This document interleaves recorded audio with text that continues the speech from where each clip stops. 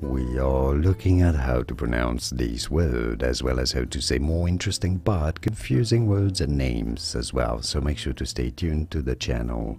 In British English, this is said as collier, collier.